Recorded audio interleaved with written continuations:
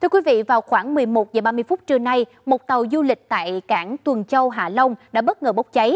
Lúc này thì trên tàu chở 37 hành khách, chủ yếu là người nước ngoài.